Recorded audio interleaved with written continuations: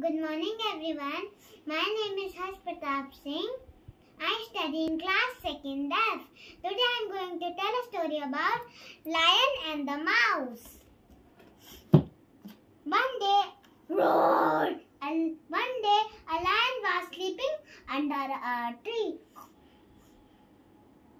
A mouse came there and started jumping and dancing on the mouse.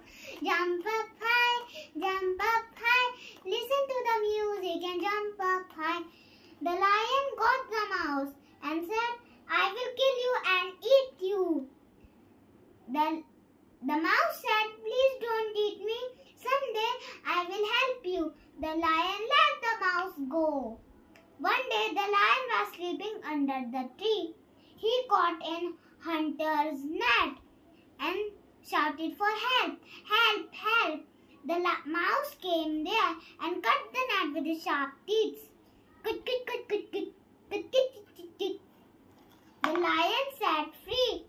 The lion and the mouse were good friends since this day.